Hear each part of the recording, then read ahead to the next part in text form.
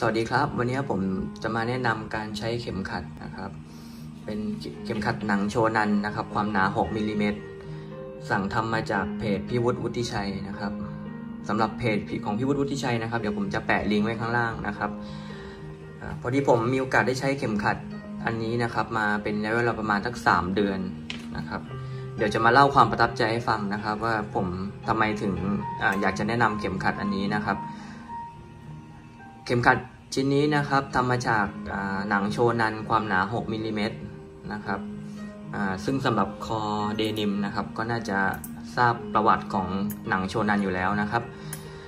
สำหรับหนังโชนันนะครับ เดี๋ยวผมจะมาเกริ่นให้ฟังคร่าวๆนะครับ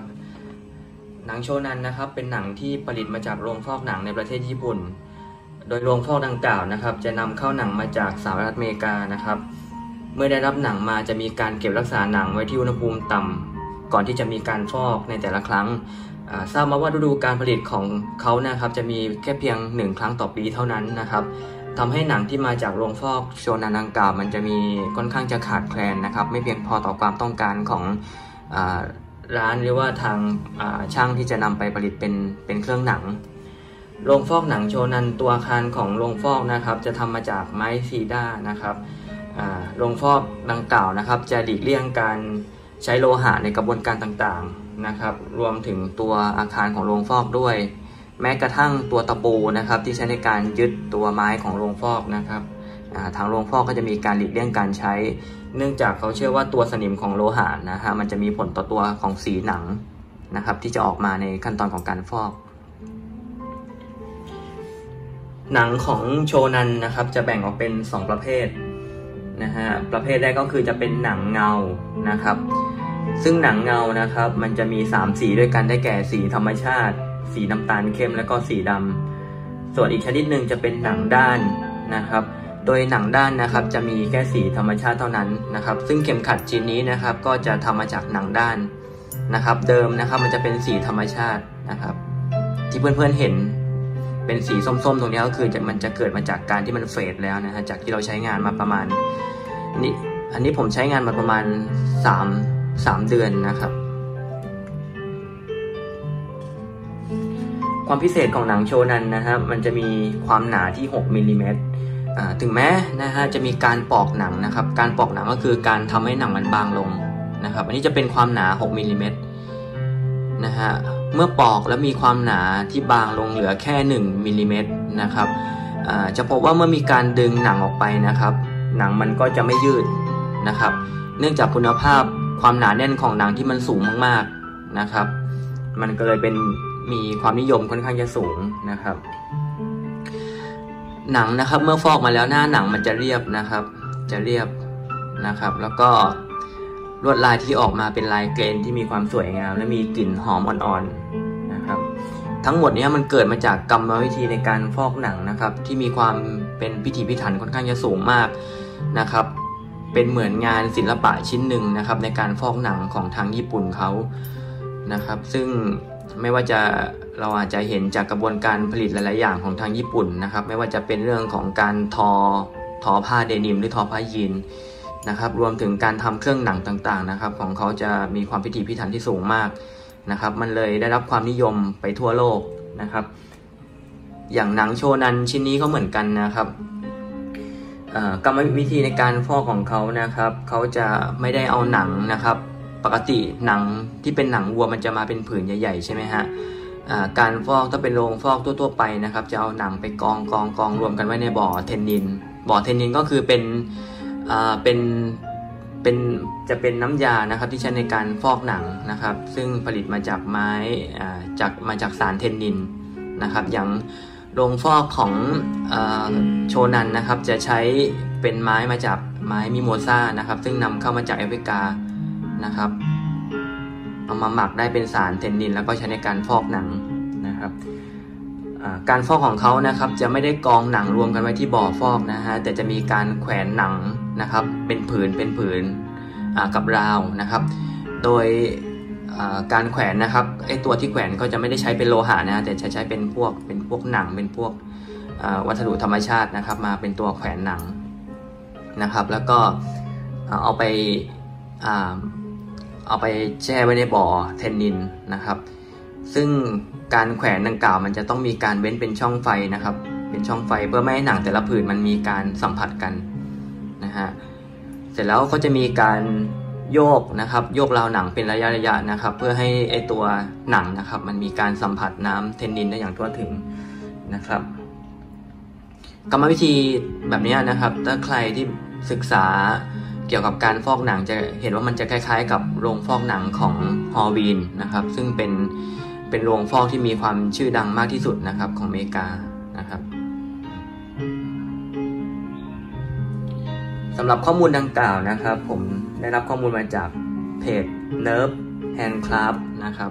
ต้องขอขอบพระคุณสำหรับข้อมูลนะครับ เพื่อนๆสามารถเข้าไป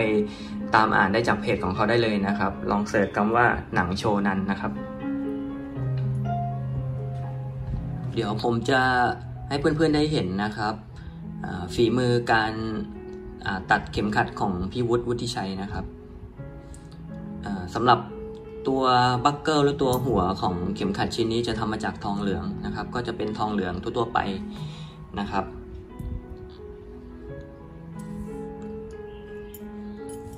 อันนี้เป็นตัวหนังนะครับ เป็นตัวเข็มขัดนะครับเพื่อนๆลองสังเกตความเรียบของตัวผิวหน้าของหนังโชนันนะครับ เห็นไหมฮะแล้วหนังของเขานะครับจะเรียบเนียนกิบแบบนี้นะครับ ตรงหน้าหนังทั้งผืนนะครับ เดี๋ยวจะให้ดูขอบนะครับ ขอบของหนังนะครับเพื่อนๆลองสังเกตดูนะครับ เดี๋ยวจะลองวัดให้ดูนะครับ ว่ามันมีความหนา 6 มิลจริงไหมนะครับ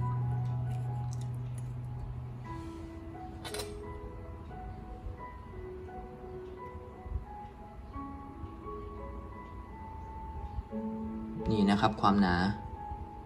ของมันอยู่ที่ 6มิลลิเมตรนะครับ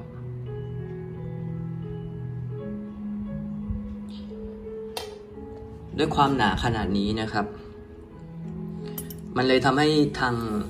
ผู้ใช้งานนะครับ หรือว่าจริงๆ แม้แต่ตัวผมเองก็ตามนะครับ จะประทับใจอย่างหนึ่งตรงที่ว่า เพื่อนๆลองสังเกตดูนะครับ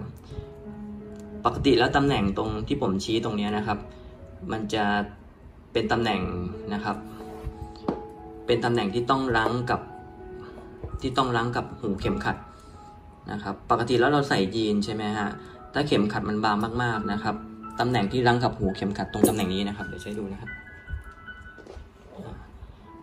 หูเข็มขัดด้านหลังตรงนี้นะครับ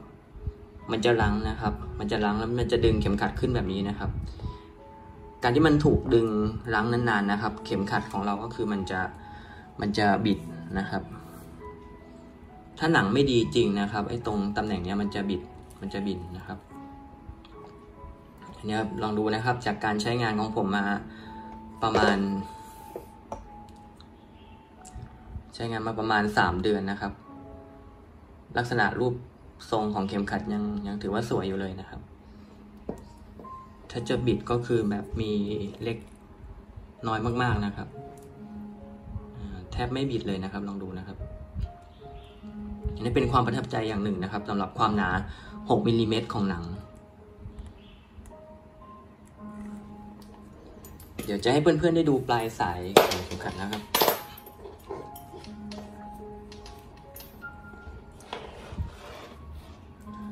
นี่เป็นดีเทลการเจาะรูนะครับ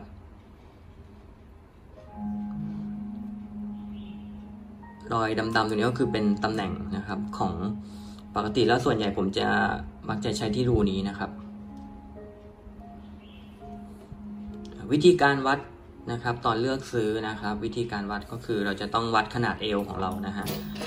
โดยวัดตั้งแต่ตรงตำแหน่งนี้นะครับ ตอนเลือกซื้อนะครับตำแหน่งนี้นะครับ ยาวมาจนถึงรู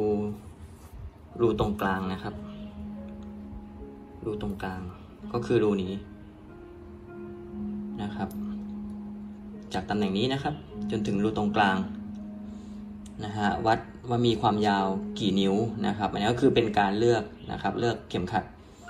นะครับ สมมุติเอวผมนะฮะเอวที่ 30 30 นิ้วนะครับ ก็จะวัดตั้งแต่ตรงเนี้ยจนถึงตรงเนี้ยนะครับ ในการเลือกเข็มขัด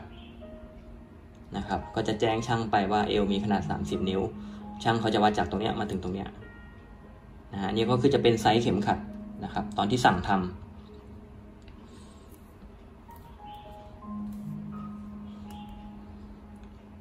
นะครับหนังนะครับเมื่อมีการใช้งานไป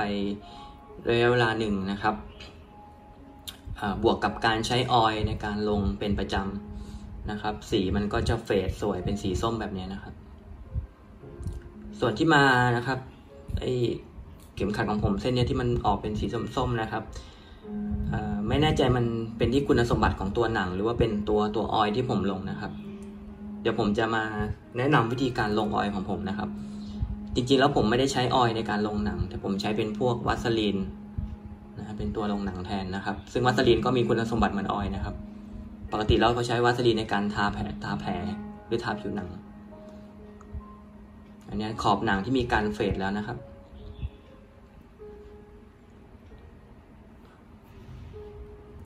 สวยงามนะครับสำหรับใครที่ชอบการเฟดของหนังเป็นสี ค้ำๆดำๆตรงขอบๆแบบนี้นะครับ เห็นแล้วรับรองว่าจะฟินนะฮะ มันเป็นความสุขของคนเล่นยีนอย่างหนึ่งนะครับ กับการที่ได้เห็นเครื่องหนังของเรา มันค่อยๆเฟดไปตามการเวลานะครับ แล้วได้เห็นความความค้ำๆช้ำๆหรือว่าค่อยๆค่อยๆสีค่อยๆ เข้มไปตามการเวลานะฮะนะครับ ในตอนที่ใส่จีนวันนี้ฟินมากเลยครับเพื่อนๆ ผมเป็นคนหนึ่งที่ชอบยีนนะคะชอบยีนเดี๋ยววันหลังมีโอกาสจะได้มีโอกาสรีวิวยีนที่ใช้อยู่เป็นประจำให้เพื่อนๆได้ทราบนะครับอันนี้เราเห็นด้านหน้าของหนังแล้วนะครับ เดี๋ยวจะให้ดูด้านหลังนะครับ ด้วยความที่มันเป็นหนังหกมิลนะฮะไอ้ตรง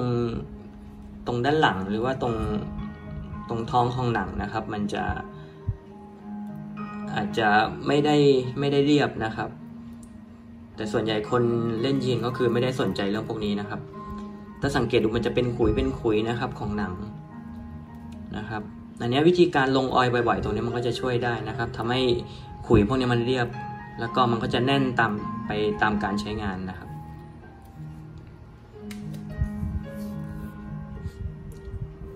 กลิ่นของหนังยังมีอยู่เลยนะครับ ขนาดใช้งานมาประมาณ 3 เดือนแล้วนะฮะ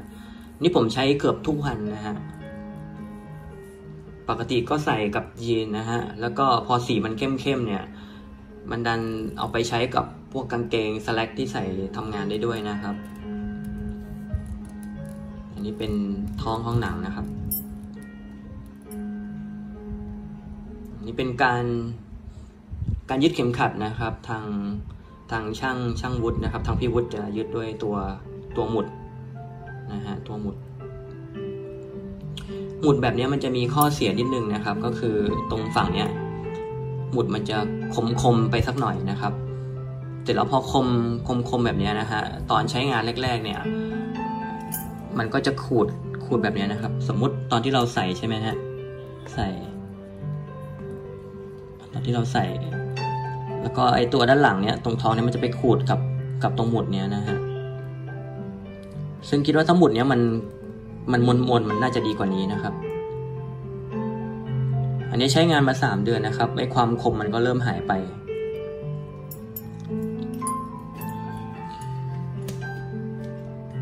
อย่างหนึ่งนะครับหมุดแบบนี้นะครับมัน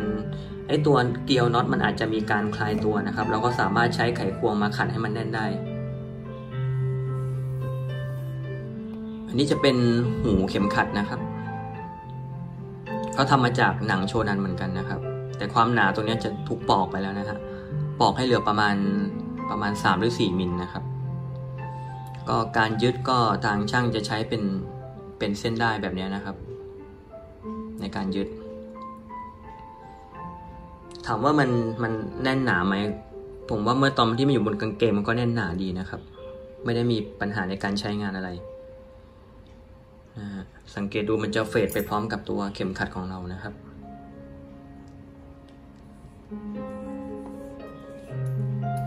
โอ้ยสีส้มสวยมากเลยครับเพื่อนๆ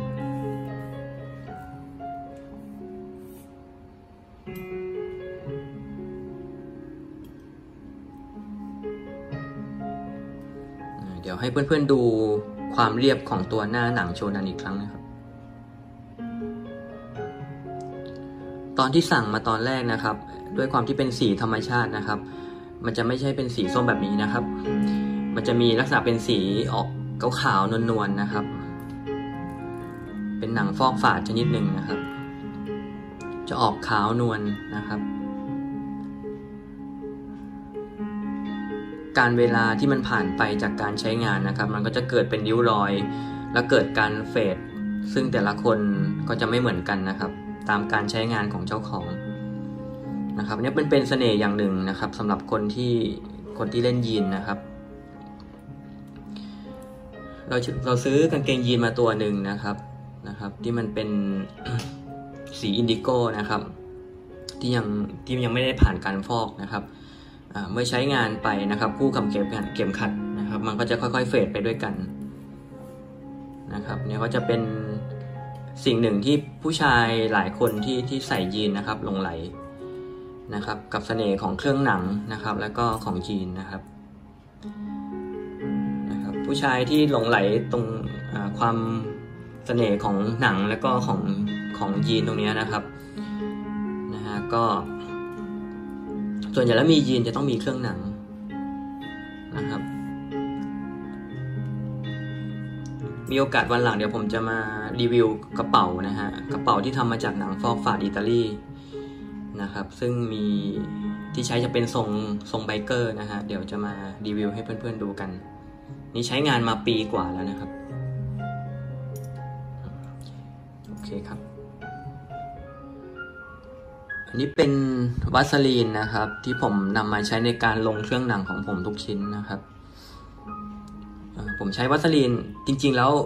ไม่ได้ตั้งใจจะนำมามาใช้นะฮะพอดีว่าได้รับวัสลีนอันนี้มา แต่มันหมดอายุมันหมดอายุไปตั้งแต่ประมาณปี 63 นะครับ จะทิ้งก็เสียดายก็เลย เอ๊ะมันมีเครื่องหนังอยู่ก็เลยลองเอามาทาหนังฟอกฝาดดู เพราะว่าสีมันดันออกมาสวยนะครับนะครับ อาจจะใช้เป็นวัสลีนทั่วไปก็ได้นะครับ คิดว่างั้นนะครับ ปกติแล้วก็จะใช้ออยในการลงนะฮะแต่วัสลีนคุณสมบัติมันก็เช่นเดียวกันกับออยนะครับ อาจจะมีการผสมสารอย่างอื่นที่ต่างกันออกไปหน่อยหนึ่งสำหรับพวกออยนะครับ วิธีการลงก็เราแก้เอาวัสลีนป้ายนิ้วนะครับ แล้วก็แตะแตะแตะแตะแตะแตะอย่างเงี้ยนะครับ แตะแตะให้ตัวนะครับ แล้วก็ใช้นิ้วลูบๆนะครับ ตอนที่เพื่อนๆซื้อหนังฟอกฝาดมานะฮะไม่ว่าจะเป็นกระเป๋าสตางค์หรือว่าเข็มขัดนะครับ ที่ทำมาจากพวกหนังฟอกฝาดนะครับ สิ่งที่จะต้องทำบ่อยๆ ในช่วงประมาณ 1-2 เดือนแรกก็คือการหมั่นลงออยนะฮะให้มันเกิดเป็นเป็นเป็นคราบของของไอ้ตรงผิวหน้าที่มันจะมันๆนะครับ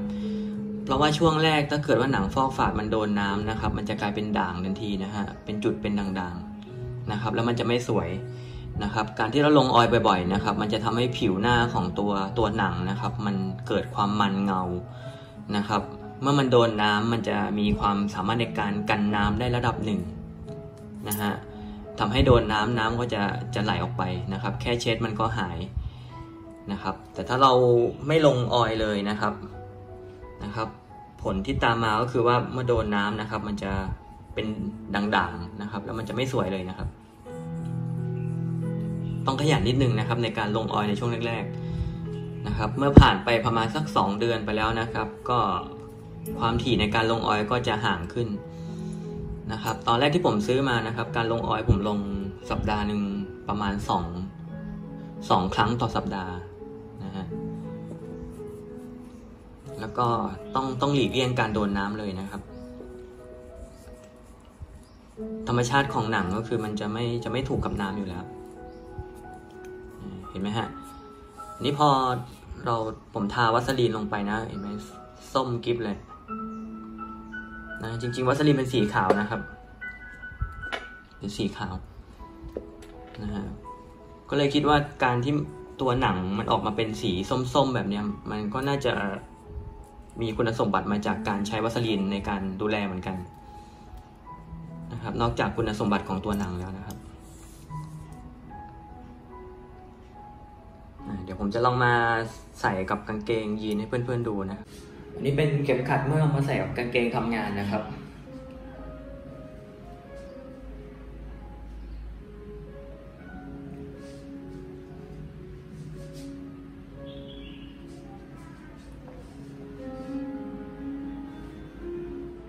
นนี้เป็นเข็มขัดเมื่อนำมาใส่คู่กับยีนนะครับ ซึ่งการใส่คู่กับยีนมันน่าจะเหมาะกับมันที่สุดแล้วนะครับ ก่อนจะจากกันไปนะครับ ผมลืมบอกราคาของเข็มขัดเส้นนี้นะครับ เข็มขัดเส้นนี้นะครับ ราคาจากร้านของพี่วุฒิวุฒิชัยนะครับ จะคิดราคาอยู่ที่ประมาณ 1,800 บาทนะครับ ปัจจุบันนี้นะครับเหมือน จะมีการเก็บภาษีนำเข้าพวกหนังพวกนี้จะต่างประเทศเพิ่มขึ้นนะครับ มันทำให้มีการปรับราคาที่เพิ่มขึ้น ตอนนี้น่าจะอยู่ราคาประมาณพันเหรือประมาณเกือบเกือบสองพันนะครับ ยังไงให้ลองเช็คจากทางเพจของพี่วุฒิวุฒิชัยดูนะครับ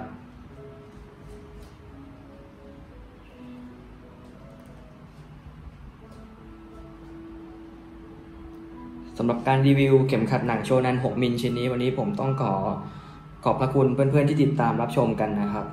แล้วเดี๋ยวพบกันใหม่โอกาสหน้านะครับ สวัสดีครับ